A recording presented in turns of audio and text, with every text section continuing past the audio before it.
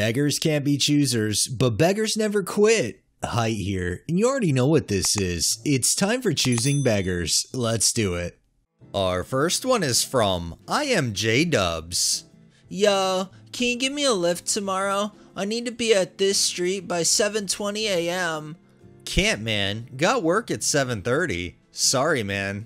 Pick me up at 6:30 a.m. at the Korean church, intersection of here and here, right side parking lot. From this mall, the mainstream here is 10 minutes. You can make it work. Main Street. Sends pick. It's doable. I have to work at 9 a.m. I have to be back in here by then. It's very doable, trust me. Come on, man. I used to work two jobs back to back, from morning to overnight in my early years. You just need the willpower, which it seems you are lacking right now. I feel like the only one who's lacking here is you in the sense that you're lacking a ride. They're not doing anything wrong, especially considering you want them to have 10 minutes to get from wherever they're dropping you off to work. Yeah, they're really lacking something. this next one is by Ash Zealot. In search of free, free, free, free, free, free. Working for one weekend only, refrigerator, having a party, don't have enough room for food and drinks. To be clear, I want a fridge that will only need to work for one weekend, this upcoming weekend, July 3rd. F it, you can come to my gathering if you bring one refrigerator. DM me. Pretty poor party planning when you can't even have a refrigerator to store all of the stuff needed, and then you want to ask for one for free. You know, come to think about it, I don't think I've ever heard of a refrigerator rental company either, outside of a home appliance store, but using it for a day? This next one is from Get Weird. Hi, babes. I'm hiring a private cook for trade for July. My month is busy serving clients, and I need to be fed. I want several home cooked meals delivered weekly for four weeks. Single or full time mamas might be an ideal match, or a man who wants to cook for a busy working woman. I'll give VIP space on my books to receive life altering, deeply healing, transformative bodywork. This will be ideal for an individual who's maybe given birth and never received care or safe space to heal and integrate their traumas and wants a deep relaxation reset. I assume the cooking and meal prep will be much cheaper than the amount of money of my work, which is extra awesome for you. This is high value for me because time is money and I don't have as much available to slow cook or prep my foods. I need to be well nourished and fed. I don't do dietary restrictions and aim for 2,000 plus calories a day. Meats, broths, root vegetables, raw milk, butters, organs, fish, cooked fruits, and ancestral eating is the vibe. Butter me up, baby.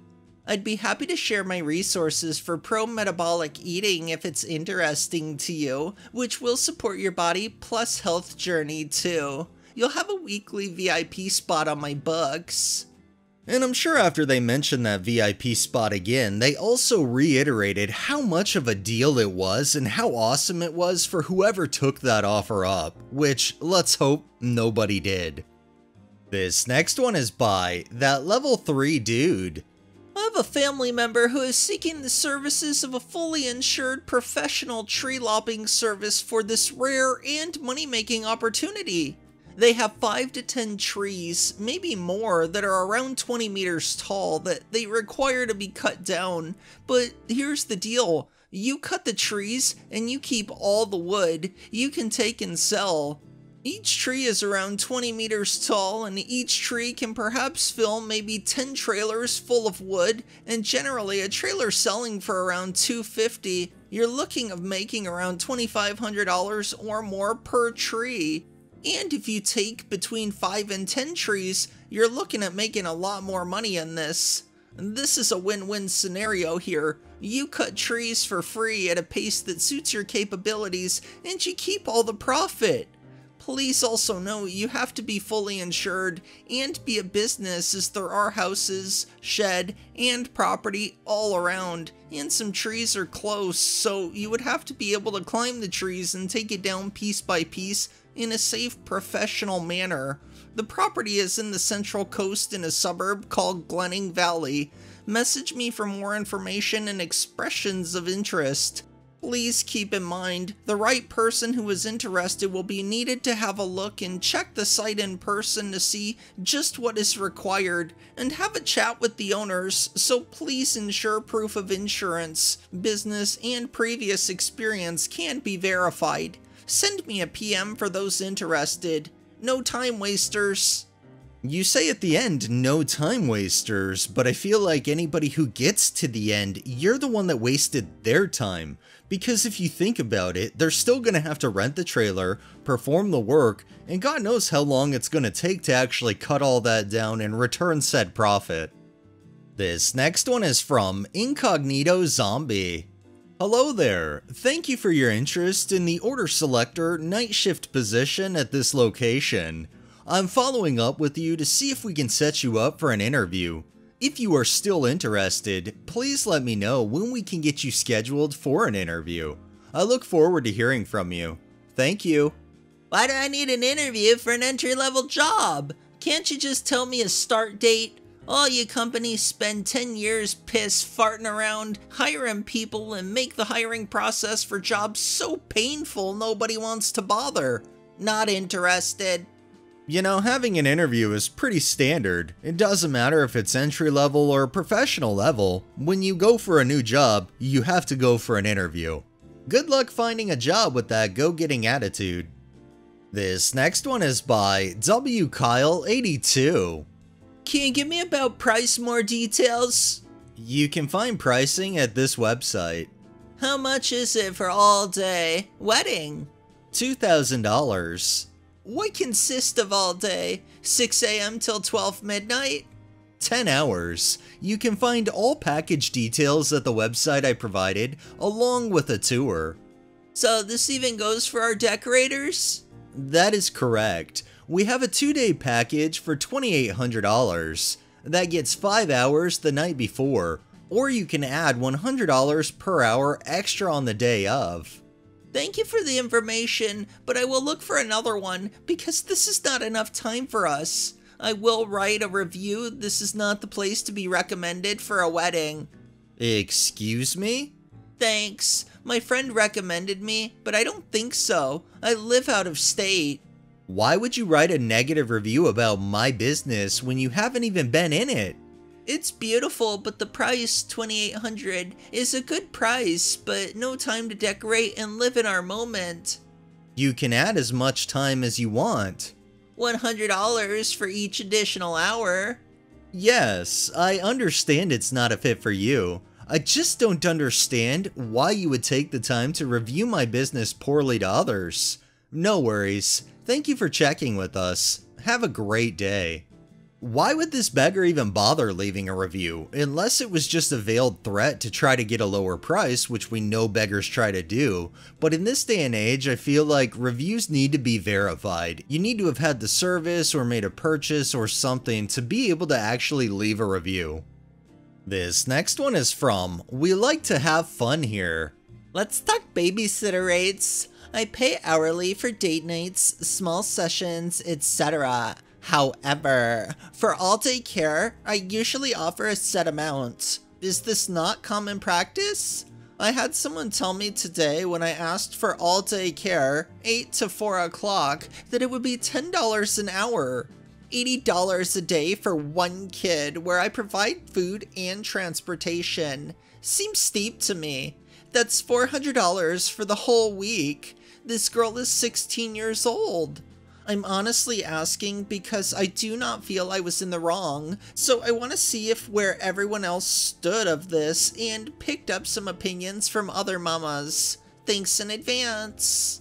The bottom line is, some sitters that watch your kid will take a weekly rate, but that weekly rate has to actually be something they can survive on or pay bills with. It can't be a chump change rate. And while home daycare is usually cheaper than a traditional daycare, you still need to pay someone what they're worth. This next one is by Froze. Good morning. I'm in need of a little help. I'm looking for a reliable teenager who wants to make $50 a week babysitting. Hours are from 7:30 to 1 and 1 to 4. They'll walk my babies to summer school, drop off at 9:15 a.m., go back and pick up one sibling at 1 p.m., then keep him until 4, while going back to summer school to pick up the next sibling at dismissal, 4 p.m., Monday through Friday. My name is this. Thank you for the community support. I really don't think a teenager is going to see $50 a week and working that amount of hours is a really good deal. They could go get a job making $10 an hour, work 5 hours. They've already done that and worked way less than they would if they did for you. And our final one is from Nightsaber94. Just happened and I thought it belonged here. Having a beer at the bar of a beach resort in the Bahamas. A middle-aged woman comes up to me and taps me on the shoulder. I turn around and she hands me a laminated card.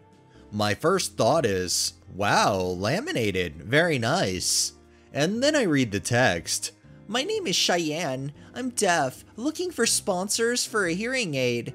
At this point, I'm buzzed enough that I feel like helping out, so grab $20 USD and try to hand it to her. She shakes her head and taps lower on the card. Further down, it states along the lines of, To avoid difficulties, I'm only accepting donations starting at $100. I turn back and say, Seriously?